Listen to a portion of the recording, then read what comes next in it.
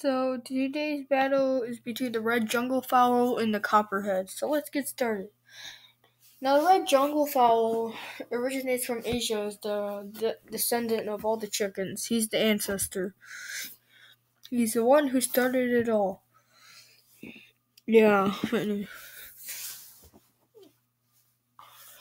So red jungle fowls can be up to around like foot long when it comes to tail feather to beak and can be it can weigh up to two to three pounds.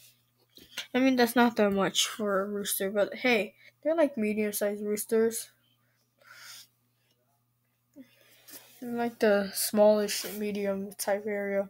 So, but let's go to the copperhead. Copperheads live in North America. Yeah, I forgot.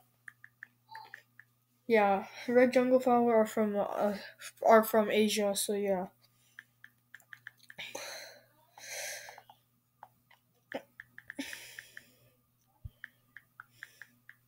So copperheads live in North America. Can, they can be up to two to three feet long. It can weigh up to one to two pounds. Yeah, but anyway. So let's get this fight started. So first, Beak versus Fang. No, their main weapons. It's not their main. Talons versus Fang. Venomous Fangs. Venomous Fangs takes this.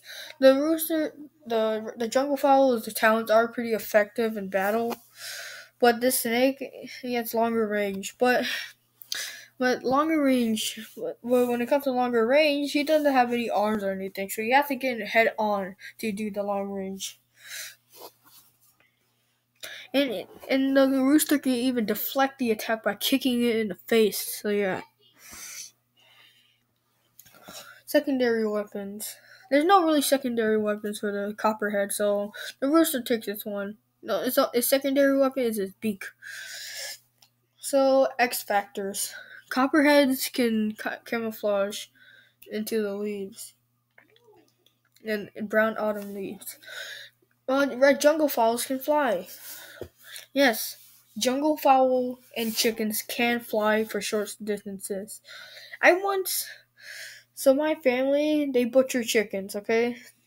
Because they get some from the farm or like yeah, they butcher chickens. One chicken managed to escape the grasp of our parents. Our backyard, is, it's kind of big, and there's a freaking there's a pine tree grove over there, over there, over where our house lives. We live. So apparently, this chicken, this was a special one because he had an extra spur on his leg spur is like a claw, extra claw. It's on like the back of his leg. But anyway, he flew away. And from our gazebo to that freaking tree, that was like 50 feet. And this was like a huge chicken. It was like freaking huge. It was like one of those Malay roosters. Dude, you're telling me this huge Malay, dude, it was a chicken that looked like a Malay rooster. Okay, I didn't know what type of chicken it was, but it looked like one to me. I was like seven or eight when it happened. I'm not lying. This, this effer, this chicken. Okay, so the average like thing, the average flight distance for a chicken is twenty feet. This guy, no, he broke the freaking world record. He flew all the way from our gazebo to the freaking pine tree grove, and that's like a 40 to 50 foot walk. You know how crazy that is? I mean, that might be not sure, sure, but like for real, you know how long that is from the. Okay, I'm getting off topic here. Uh, okay, but for real, this is the gazebo. Okay, let's just say the gazebo is here. And then this chicken, he flies all the way over here. And let's just say this is like 30 to 40 feet. How the hell does that happen? A chicken flies over 20 feet just to get to the pine tree groves, and my dad had to get it down with a net. True story. Anyway, let's just get on to the battle, god damn it. I just got sidetracked. I'll tell you the story in the story time later. I'll tell the story again in story time. But anyway, let's just get into the video or fight. So the copperhead sees a nest, a red jungle fowl nest, and decides to eat the eggs. The hen is not there, but the rooster is there. And the rooster of the hen, he comes to protect the flock and kicks the side, I mean, the copperhead in the head. This makes the head, this the snake jerk its head back and hiss at the red jungle fowl. The red jungle fowl is not freaking afraid, and he will fight to the death.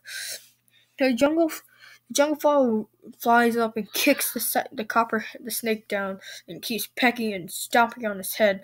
The snake then tries to deliver a bite, but then gets ki- the the talons of the the roosters like look the talons on the rooster it freaking slices the, the snake's head so the snake's attack wasn't really effective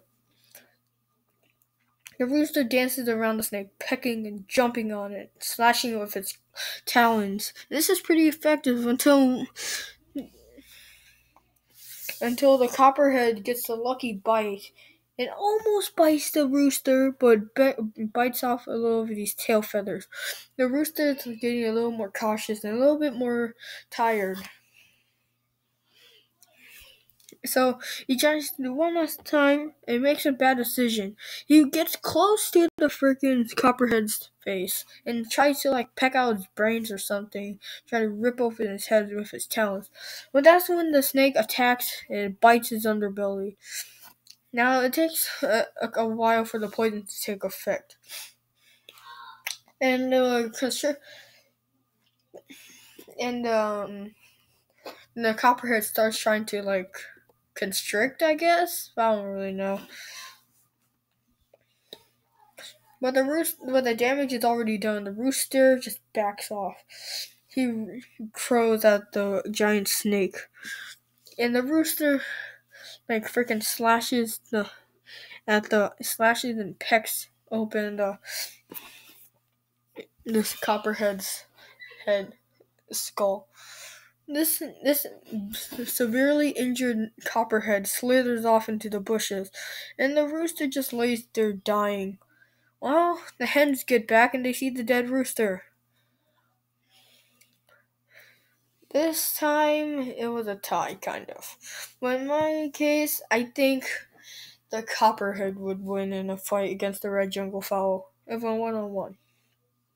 I'm not biased against chickens because they can be a very formidable opponent, but like, dude, it was it was a pretty intense battle, but like, it was, it's too small to even hurt this the the snake. I mean, it did inflict serious damage, but like, it was to a snake, man.